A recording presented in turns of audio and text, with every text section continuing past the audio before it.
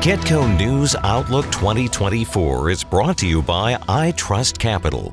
Buy and sell crypto, gold, and silver with your IRA. Hey everyone, I'm Jeremy Szafron, and this is Kitco News. Now, today we're going to be taking a deep dive into the world of commodities, focusing on gold, silver, and oil. Now, the commodities market has been a hive of activity recently with significant movements across these key assets. Gold, of course, hit a record high in uh, December of about $2,100 an ounce, while silver has been attracting investors during these volatile times. And we're also keeping an eye on oil prices. Now, to discuss these dynamics and give us an outlook at what lies ahead for 2024, we're joined by Gary Wagner. He's our expert in charts and commodity forecasts. Gary, welcome to the show. Let's chart it out. Thank you so very much for having me. Happy New Year to all of our viewers. And it's great to be back on Kitco at the beginning of the year. Love it. Well, we're happy to have you. I mean, 2024 is no doubt starting out fairly interesting. Now, today we saw the Fed just release their minutes saying, okay, we are doing all right on the inflation train, not quite at that 2%, but don't expect rate cli- cuts, rather, to immediately take effect in 2024. They're looking at maybe towards the end of the year. Now, much of the market has already priced in a few of these cuts. So I'm curious, Gary, as we see the Federal Reserve transitioning from quantitative tightening to potential easing, gold prices have shown a marked response. With the policy shift and gold's current valuation, I mean, what's your perspective in gold here throughout 2024? It seems we're in a little bit of a corrective stage today. Absolutely. And it's actually something I had hoped for. But in terms of my overall outlook, I'm exceedingly bullish. I'll talk about where I'm looking at as potential upside.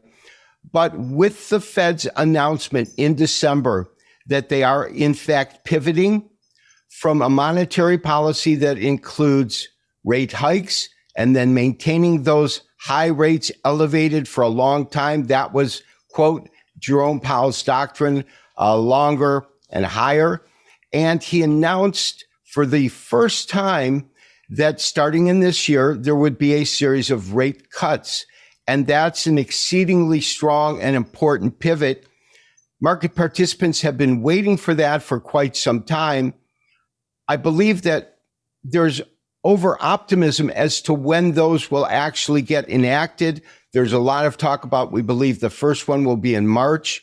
My senses, and this is simply going by the SEP, which is the summary of uh, economic projections or the dot plot that was released in December, that it's going to be probably near the mid or end of Q2 before we see any rate cuts. And secondly, what he mentioned, Powell, was that there would be a series of quarter percent rate cuts, three of them uh, totaling a cut of three quarters of a percent to Fed funds rates.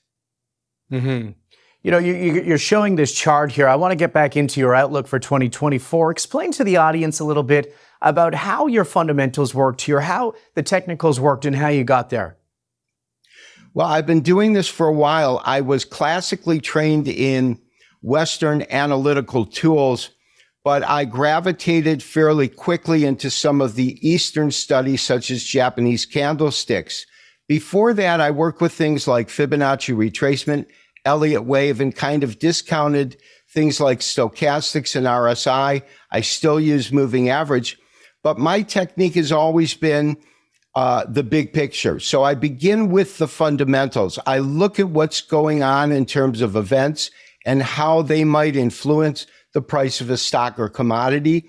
And then I use technicals for specific entry, exits, and targets. So I call that a hybrid trader. Mm-hmm.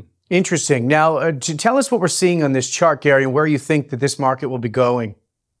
Well, this is a daily candlestick chart of gold. And what I have plotted basically is a Fibonacci retracement. And the reason for doing that is as this market hit this high, and of course, this is back at the beginning of December 4th on a Monday, it came down with a pretty strong correction to approximately 1985 and then began to cycle higher moving as high as about oh, well, well over 2000. But once the new year started, we saw some weakness in the market. Today is a strong day down.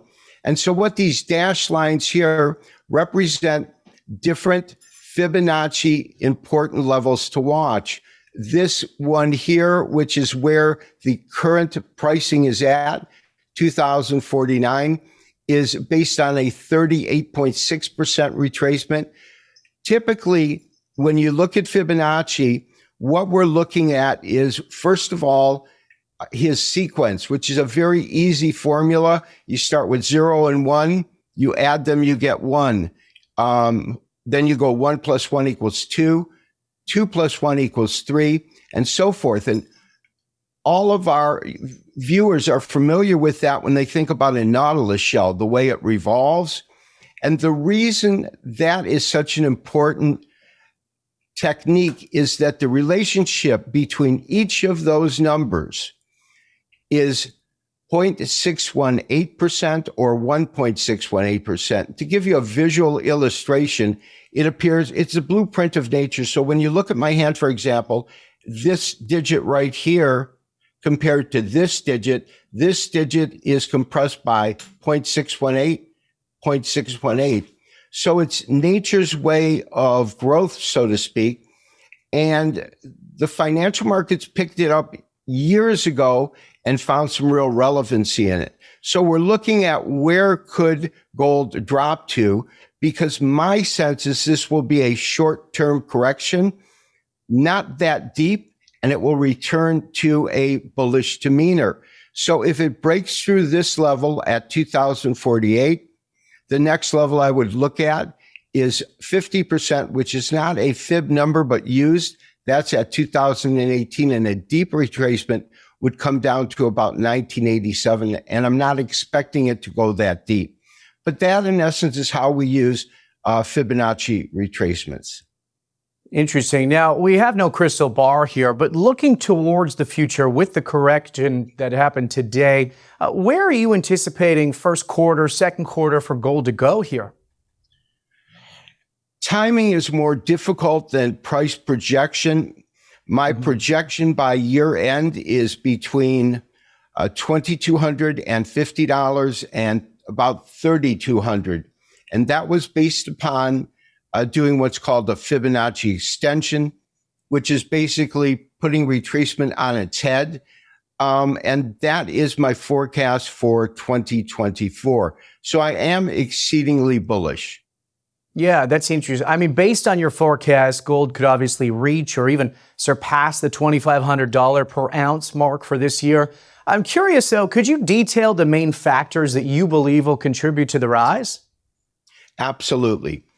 First, we talked about it briefly, was Fed monetary policy changing from quantitative easing to um, from quantitative tightening to easing. And the reason that's important is gold is very sensitive to interest rates. Interest rates moving up create a bearish undertone for it. Interest rates going down is bullish for gold. And the reason for that is gold doesn't yield any interest on it. So it becomes more of a, uh, a favorable asset to hold during times of low fixed income returns. That is going to be a process that it happens over three years because the Federal Reserve itself projected uh, 24, 25, and 26 and how they're going to bring that down and bring down inflation because, of course, their ultimate target is to get inflation to a 2% level. So that's exceedingly important, and that will be a multi year process. The next thing that is really on my radar is the geopolitical tension that currently exists. We have a conflict in um, Russia and Ukraine. We have a conflict in the Middle East.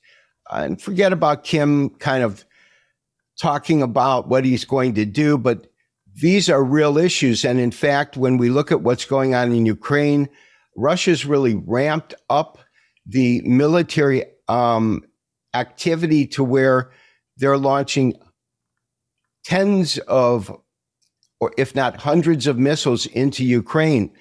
And anytime you have an extended geopolitical rift, so to speak, that is going to take out the safe haven aspect. In other words, with the Federal Reserve, what we are looking at is making it favorable by lower interest rates, but safe haven is a little bit different because in times of uncertainty, gold tends to do a much better.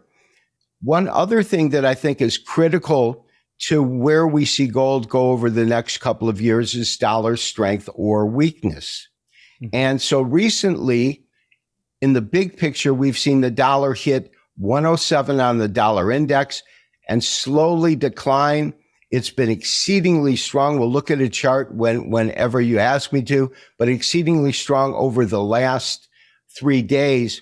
However, what is different now than we have seen maybe 10 years ago is countries organizing together BRICS, which is a series of countries that are attempting to take the dollar and dethrone it from its status as the dominant currency for global trade.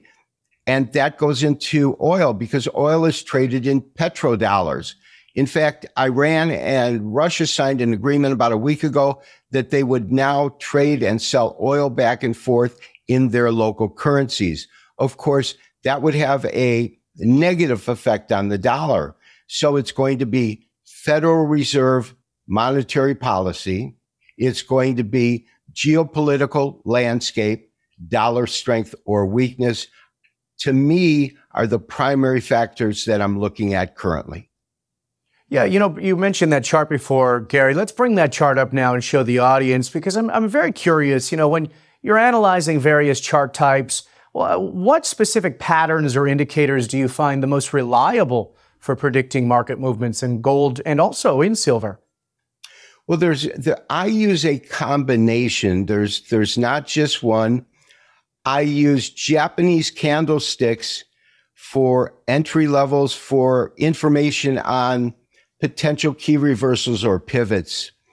I use Fibonacci extensions and retracements to chart plausible points if a market's moving up. Where is it likely to find resistance? Along with recent market tops. For support, I look at market bottoms along with other tools such as Fibonacci retracements at the lower end. For forecasting, especially if we're forecasting a market that has just hit a new high and and could hit a all-time new record high, we use Fibonacci extensions. The last thing I use is called Elliott Wave, and it's either loved or hated by fellow technicians. But simply put, his philosophy or theory is that when a market goes up or down, it doesn't go straight up or straight down. So he has broken up a bullish movement into a series of eight steps. And the first five he labels as the impulse phase waves one, two, three, four, and five, where one is in the direction of the trend. So in a bullish market, as you can see on the screen, this would be a move up where the market's moving from 1841 up to here. And that's impulse wave number one. That will be follow- followed by a corrective period or wave two. And then you go to what's typically the longest of the impulse waves, wave three, and then a correction. The way I like to explain it is rather than a market just going parabolic, straight up or straight down, it tends to move in a series of stair steps. And so it's these stair steps that allow us a way to look at the market and ascertain where the current price is in relationship to different time cycles. So you basically look for it to go for five waves up. You can see that I've drawn this line above because this is my forecast for well above and to trade to a new price high. But before that, we're in a corrective period. We want to see if it finds support at 2050 or if it's going to go a little lower. And then we would look at 2025. So let's assume that gold continues to drop. What we want to look for at the bottoms, in other words, if you're looking at this wave down, we call it a four, you can see there's different colored candles, but right here at the bottom, they're very, very small bodied. And that is called a doji in terms of the candlestick type itself. The way we create a candlestick is the same as a bar chart. We use all four data points, open, low, high, and close. In a bar chart, you have a horizontal slash on the left side representing the open. And when it closes, a horizontal slash when it closes. The difference in a candlestick is you draw a rectangle around the range between the open and close.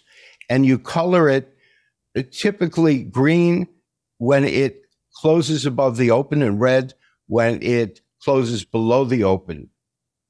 Hmm. Which is to me one of the most interesting differences between the Western trader and the Eastern trader. And it's the way that they look at price movement over time.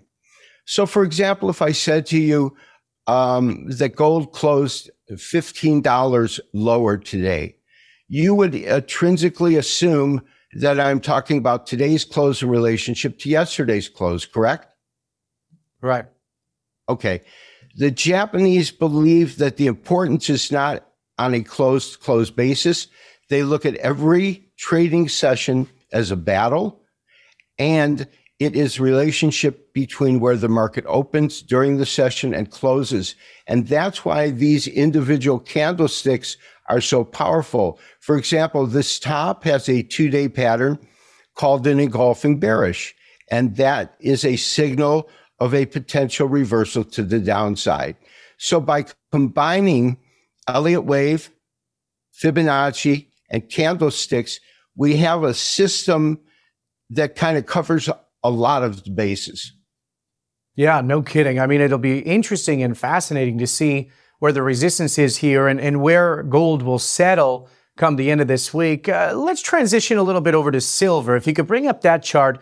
Uh, I mean, it's a, it's such an interesting commodity. It's always kind of been the underdog, and I want to talk a little bit about it here.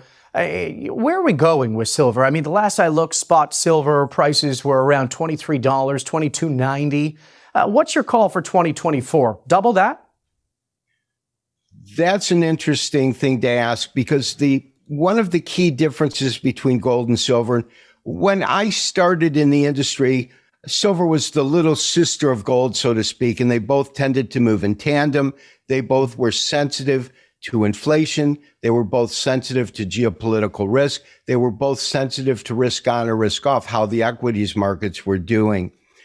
However, we saw silver go to an all time record high at about $50 the first time gold hit above 1900, middle of 2011. And then on the subsequent new price highs in gold, silver kind of fizzled out. It found a trading range that finds resistance at around $30. And so when I when you asked you, I think it's going to double. Futures right now are trading at twenty three twenty. That would be about forty three dollars.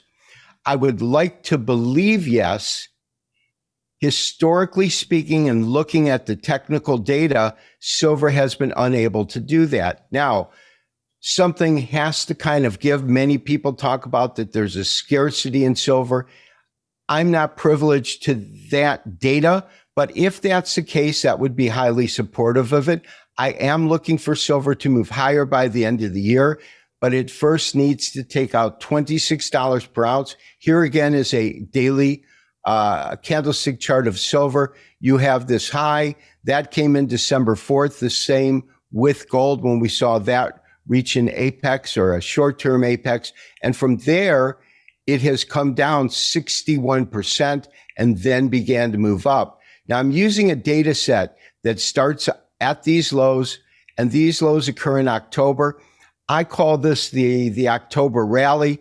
There was a geopolitical event, of course, that kind of sparked that, but that took gold substantially higher. It took silver from about $20.80 up to 26. When you look at the percentage gain in that, it's uh, quite a lot. But from there, it retraced. And if you notice, there's a line here at 61.8%. That is where silver found support. It then found resistance at just below the 23.6%, which occurs at $25.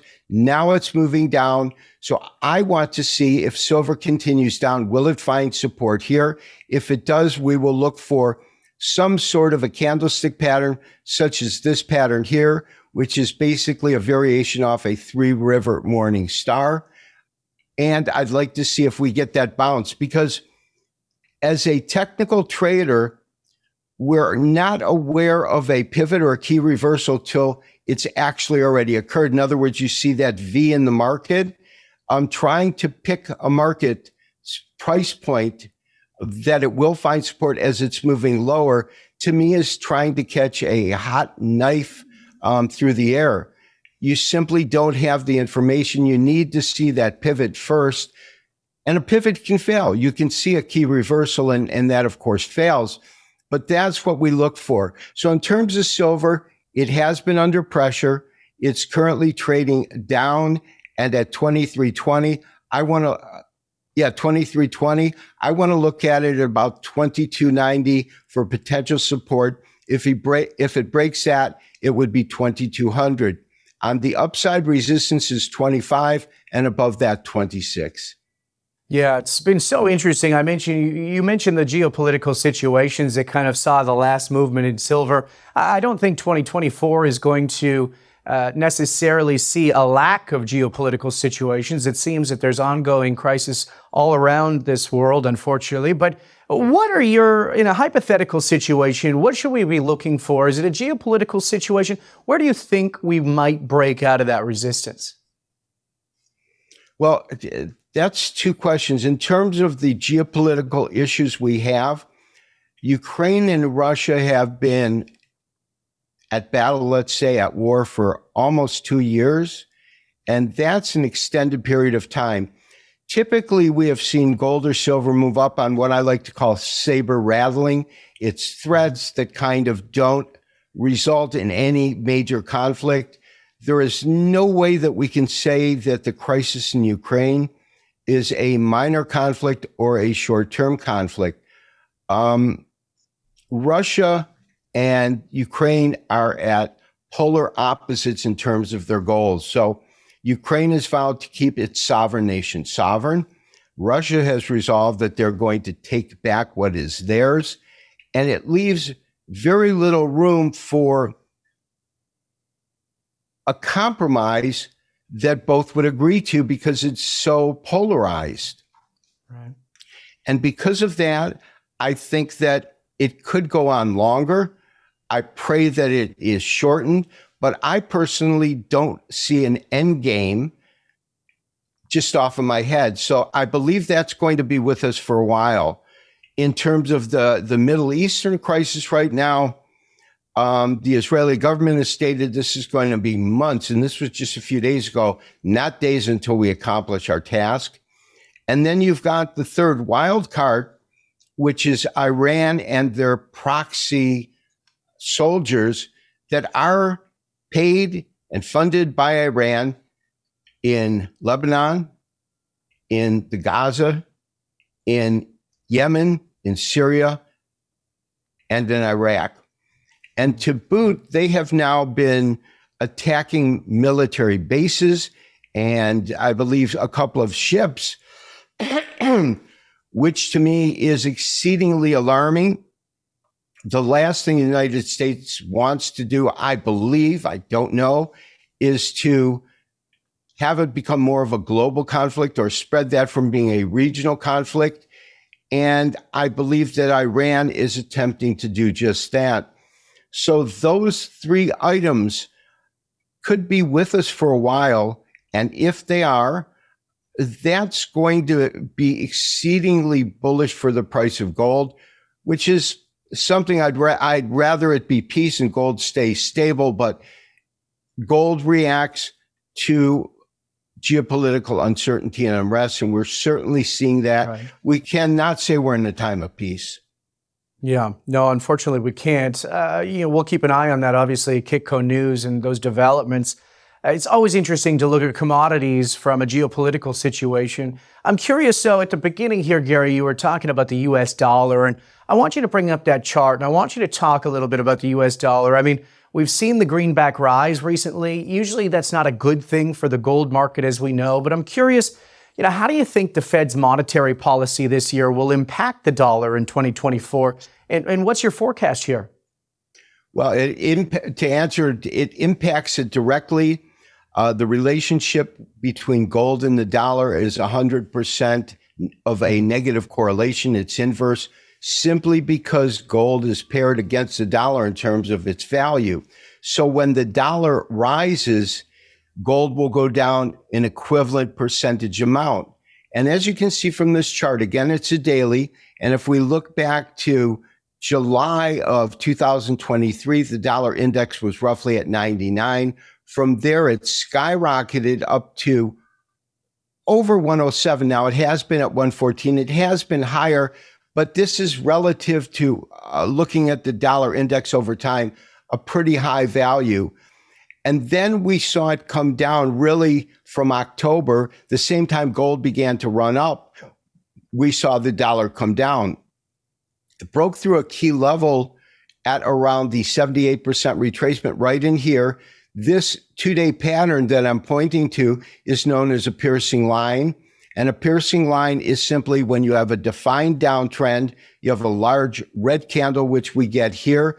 That's followed by a green candle. And again, a green candle opens and closes higher. But in this case, it opened below the closing price of the prior candle and it, clo- it needs to close at or above the midpoint, which it did.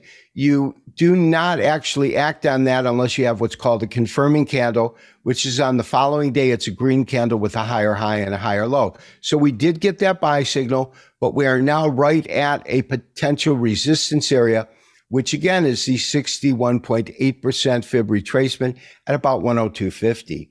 I believe that longer term, we could see more weakness in the dollar. That certainly isn't the case over the last few days. But if you look at the decline of the dollar over this period of time, you see that it's, again, not straight down. It's basically a stair step where it might move down and it's got this hard move down here in November. And then it moves higher for five days. Then it comes and makes a lower low, goes sideways and down, finds support at the 61.8% retracement, trades as high as the 38% retracement, and it finds resistance, then begins to go lower. The reason I truly believe in using Fibonacci numbers is that you can find so many occasions in which at certain points, such as just below here or finding resistance here or finding support here, it is acutely accurate in many cases in determining support and resistance levels because the way that we want to look in support and resistance is they're part and parcel of the same thing. If I'm in a building complex on the second floor and I look down, that supports me. If I go to the four, first floor and look up, that's resistance, but it's the same floor. So support and resistance can act as the same where we'll see something be a level of resistance and then become support.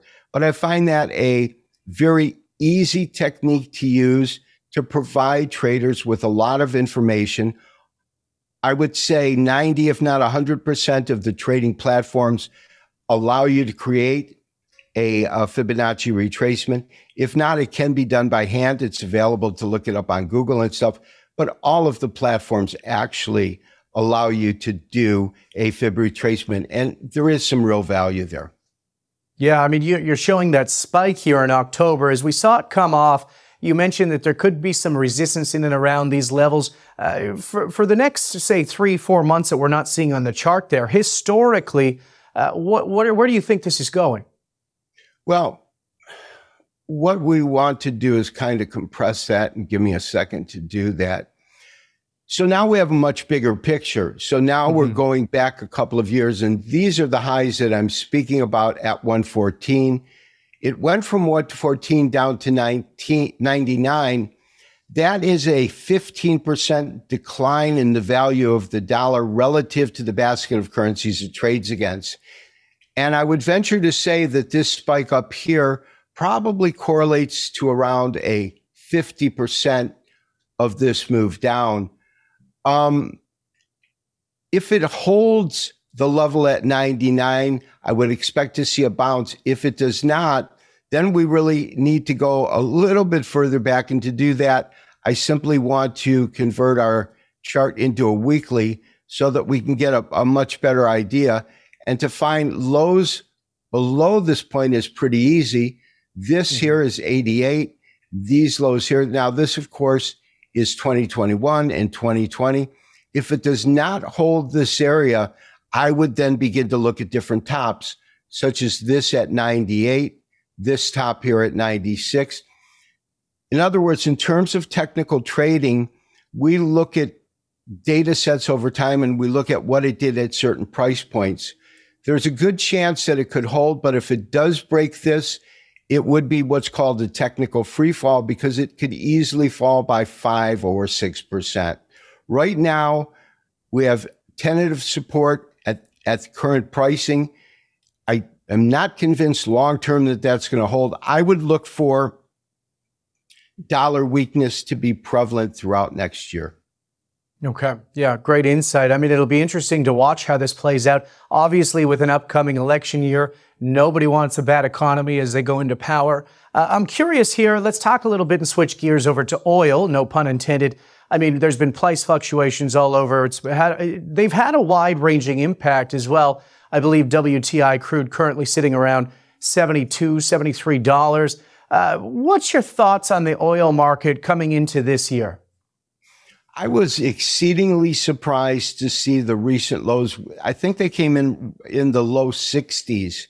Mm-hmm. And it was unusual because it wasn't uh, seasonal. I the explanation of course is always going to be based on supply and demand. I think that what we're looking at right now is the conflicts in the Middle East could affect the flow of oil, but then the conflict in Russia could have affected oil, and exactly the opposite occurred. In other words, it didn't seem to have a real detrimental impact on getting oil to the various countries that use it. I think the reason is, is that the countries that are having skirmishes, such as Russia, depends on oil sales to fund their military, to fund their ongoing things, along with their government and their social programs and whatnot. So even during periods of conflict, we have seen the flow of oil really come in unabated. And that to me was a good thing, but I didn't expect it. I would expect oil to remain between 65 and $85 throughout the year and continue to trade within that range. I think that it would take a, a black swan or unexpected event uh, to change that. Yeah, yeah, I, I, I tend to agree with you, especially as the U.S. continues to bolster their reserves while buying millions of barrels uh, down there. Uh, Gary, thanks for this. Uh, your insights into the complex world of commodities have been invaluable. Of course, from gold to silver, the U.S. dollars, and a little bit of oil. Thanks for sharing your analysis and helping us navigate these financial markets thank you so much for having me. It was great to be here. And uh, I think that this next year is going to provide exceptional opportunities for investors, traders, and market participants. I'm excited. I'm excited as well. Thanks for joining us. And I'm Jeremy Szafron for Kitco News. Don't forget to subscribe to our channel for the latest and download our app where you can see these prices in real time. Thanks again for joining us. Kitco News Outlook 2024 is brought to you by iTrustCapital. Buy and sell crypto, gold, and silver with your IRA.